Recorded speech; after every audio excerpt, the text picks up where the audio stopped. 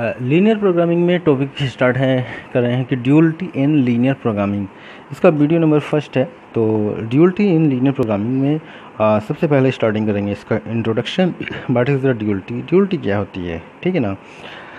Generally uh, जो concept होता है the concept of duality was one of the most important discoveries in the early development of the linear programming यानी कि linear programming में के development का एक इम्पोर्टेंट एक इम्पोर्टेंट डिस्कवरी से, ठीक है?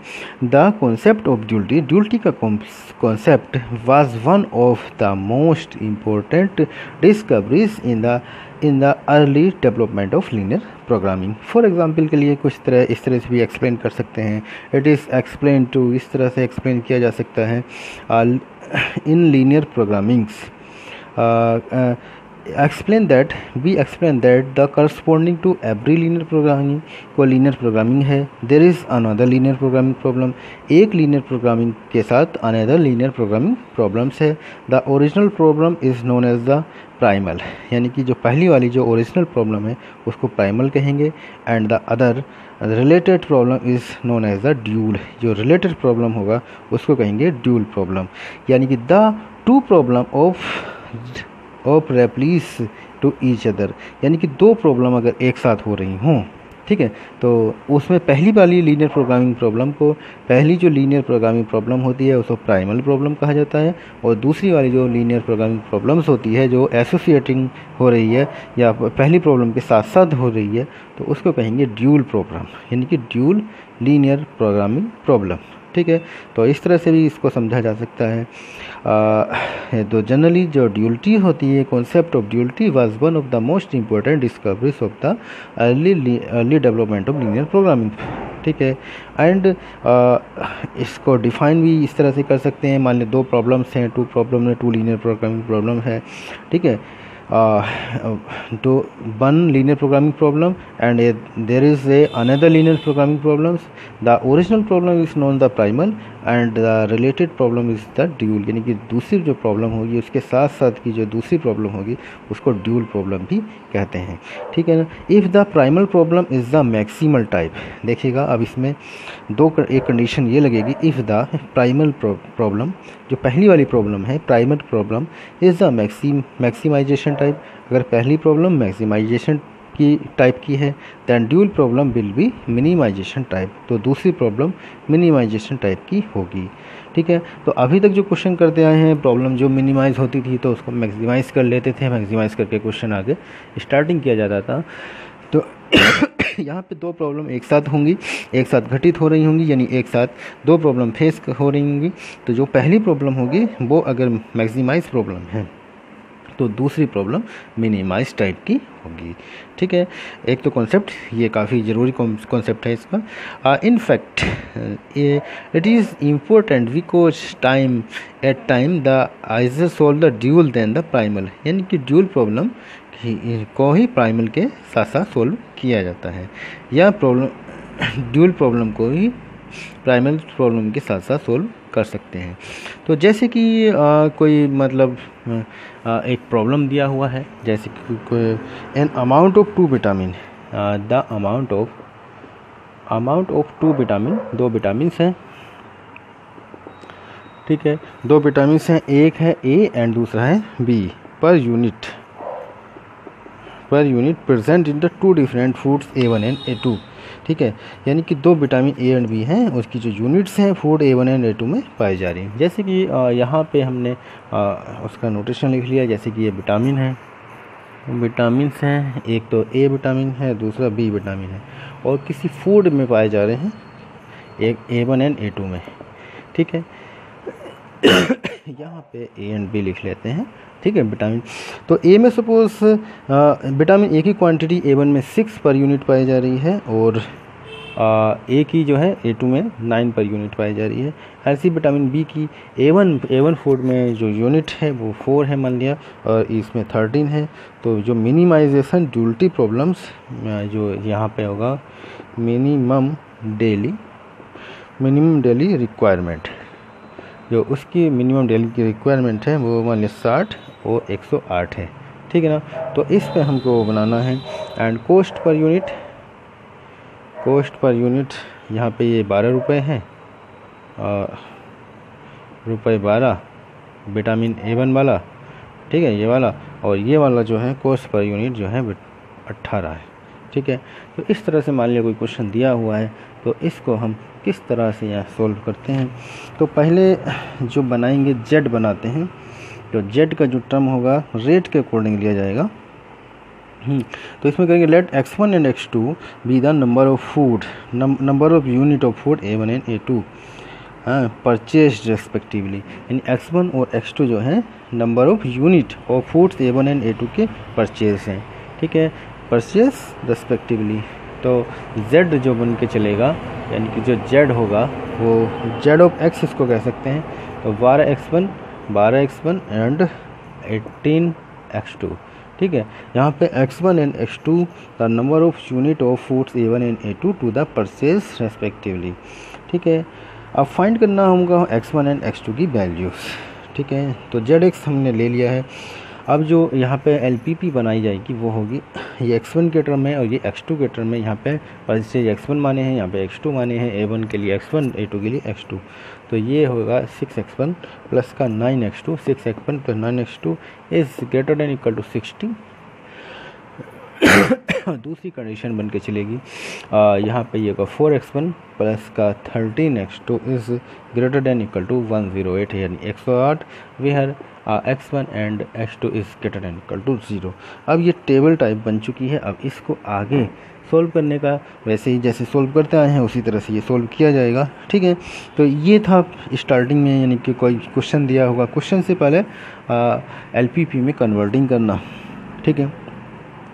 तो this linear programming problem at the primal problem यानी कि जो प्रॉब्लम कैसी है? प्राइमल प्रॉब्लम है। प्राइमल यानी कि इनिशियली प्रॉब्लम पहली प्रॉब्लम है। ठीक है? आ, इसको क्या कहेंगे? प्राइमल प्रॉब्लम नाउ एक formulate the dual corresponding to this problem मान लिया एक और प्रॉब्लम इसके साथ लगी हुई है तब तो ड्यूल्टी होगी। तो ड्यूल्टी का मीन्स क्या होता है कि एक प्रॉब्लम के साथ दूसरी प्रॉब्लम वैसी ही लगना। ठीक है? तो ये हमारे प्राइमल प्राइमल प्रॉब्लम का जो ऑप्शन आ चुका है ये आ चुका है। प्राइमल प्रॉब्लम का। ठीक है? ठीक है, अब जो ड्यूल प्रॉब्लम यानी कि दूसरी प्रॉब्लम है, इसके साथ एसोसिएट कराते हैं। ठीक है, दूसरा इसके साथ, एक और एलपीपी लगाई जाएगी, एक और एलपीपी का क्वेश्चन इसके साथ ऐड किया जाता है। ठीक है? जैसे कि suppose a whole seller sell to vitamin A and B मान लो कोई होल सेलर है सेल्स दो vitamin A and B A और बी दो विटामिन को सेल्स कर रहा है। And customer purchase the two vitamin of this in the form of two foods A one and A two, same उसी तरह से है, ये विटामिन ए एंड बी है एंड टू फूड्स है A one and A two, ठीक है? A one and A two के टर्म में परचेज कर रहा है, ठीक है? A one and A two food A one and A two the their market values only because the their vitamin contents now the dealer has a fix up the maximum per unit selling यानी कि वो maximum per unit selling पर fix कर रहा है। And suppose the dealer dealer decided the prices of y one and y two respectively यानी कि इसके जो प्राइसेस हैं बाई वन बाई टू वो प्राइस बना लिया है। Y one and y two उसके प्राइस ले लिया है। ठीक है? और तो इसमें जो प्रॉब्लम बनेगी suppose the dealer declare fix the two prices y one and y two यानी कि दो दो उसकी जो है prices y one and y two के टर्म में बना लिया है। ठीक है? तो हम्म, तो जेड वाई इक्वल टू यानी कि जो कंडीशन था अब हमारा एक्स वन एक्स टू में ना होकर बाई वन बाई टू में होगा तो जेड वाई इक्वल टू हो जाएगा सिक्सटी वाई वन प्लस का eighteen one zero eight. Eighteen नहीं है हाँ, नहीं इसमें तो एटीन था। हाँ उसमें एटीन था।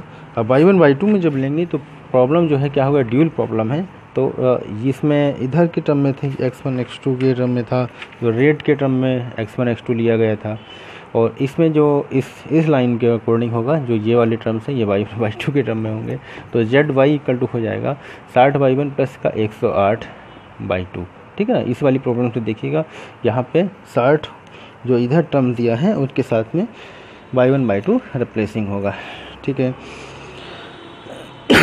बाई वन बाई टू क्योंकि the problem to be determine the value y one y two is maximize यहाँ पे बाई वन बाई टू की जो वैल्यू से हमको मैक्सिमाइज लेनी है तो y one y two maximize यहीं से मिल सकते हैं साठ और एक सौ आठ से, ठीक है?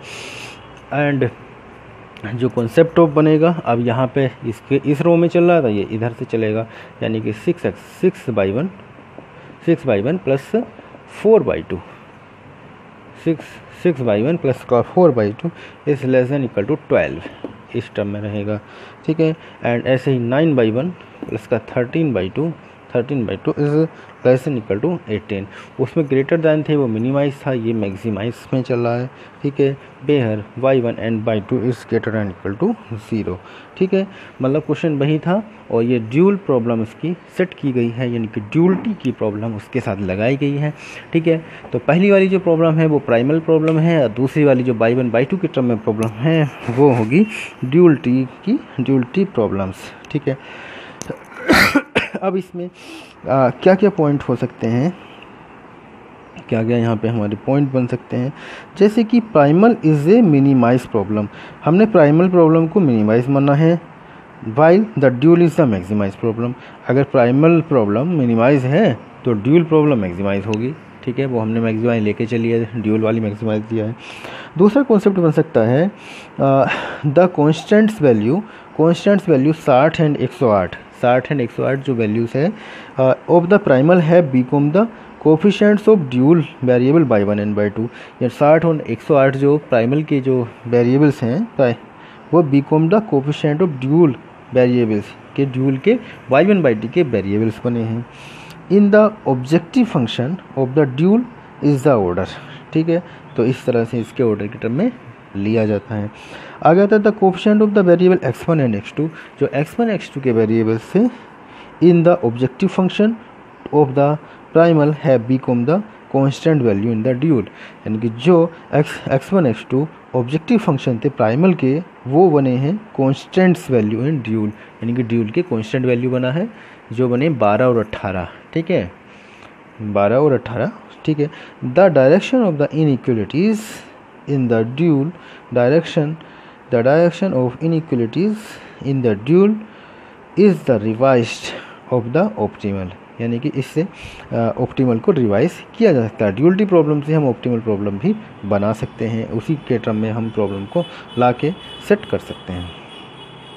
आप देखिएगा तो इनसे हमको बनाना है रिलेशन टाइप किस तरह से ये प्राइमल बनी है, किस तरह से ड्यूल बनी है। क्या यहाँ पे हमारी प्राइमल जो थी मिनिमाइज कंडीशन थी जहाँ पे जेड में जो टर्म था कोफिशेंट बारह एंड अट्ठारह था तो जेड के जो कोफिशेंट है यानी कि जेड एक्स उसको सी कह देंगे। आ, टेबल बनाना है एक हमको। चलो यहाँ पे बना देते हैं। एक प्राइमल का एंड एक ड्यूल का। ठीक है ये दूसरी प्रॉब्लम का। प्राइमल एंड ड्यूल ठीक तो प्राइमल में हमारे पास था बारह अट्ठारह ठीक है? तो जेड एक्स के जो एलिमेंट थे, बारह एंड अट्ठारह थे।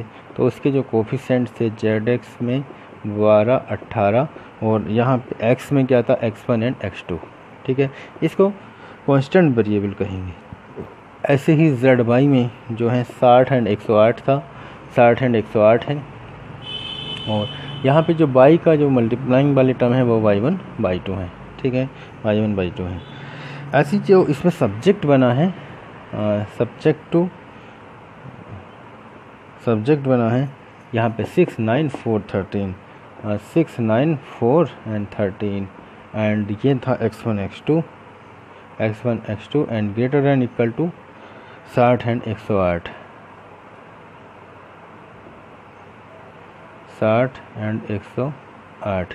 ठीक है, इस तरह से बना। Where x one x two is greater and equal to zero अब बात आती है इसमें। इसमें क्या क्या सब्जेक्ट बना? Six four nine thirteen six four nine and thirteen and यहाँ सब्जेक्ट है y one two y two और greater less than equal to बारह अट्ठारह ठीक है तो ये primal to primal to dual दोनों प्रॉब्लम में कन्वर्टिंग करके लिखा गया है। तो primal is is minimum minimum and dual is maximum problem